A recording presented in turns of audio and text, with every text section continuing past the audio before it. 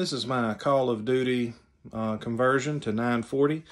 So I got it switched out for 940 and then you can flip this down and that completely kills the uh, the human ability to see the the 940 light. It's very dim anyway. It's just it's just it's the same brightness as what's on a PVS 14 that's in the United States military. So, you know, it's visible from uh, maybe three or four feet away, right? But if you want to be completely invisible. You can flip this down and it has absolutely no human uh, visible signature uh, broadcasting.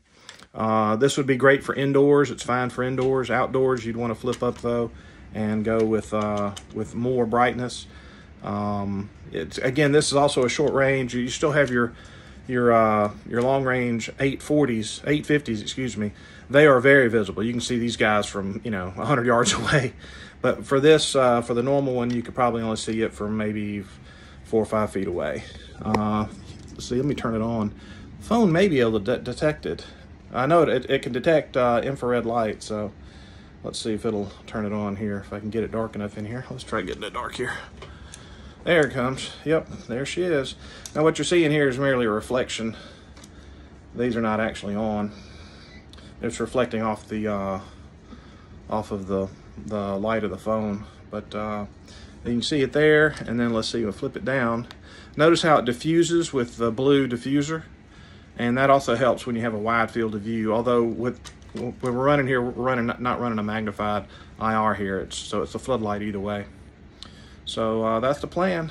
Um, again, this is not very visible in reality. It's, uh, you know, you can, I guess a human could see it from, uh, let's see, a human could see that from, I mean, if he even knows what he's looking at. You'd have to know what you're looking at. Uh, like a smoke, a red light from a smoke detector. You know, who who who breaks into a house and shoots their gun at a smoke detector, or a light from a VCR or a DVD player or something like this, or a TV, little red light on the TV. Nobody shoots that. They don't know what you're looking at, so it's very very subtle.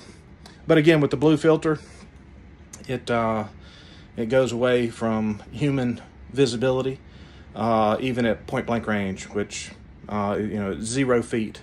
Uh, don't stare into it, obviously, because there's still light coming out of it. But uh, this is this uses my uh, high quality IR uh, LEDs uh, that I use on my CQBR, my little pocket night vision. Um, so they cost about maybe 15 times more than normal, uh, than a normal LED, and they're made in America. At least I think so. But either way, they work great. There you go.